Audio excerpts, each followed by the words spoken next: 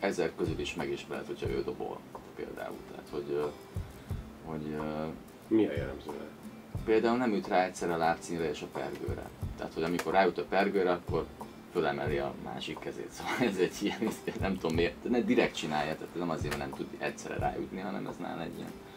De általában van valami big bandje, és ahol jazz dobol, de szerintem azért annyira az nem jó.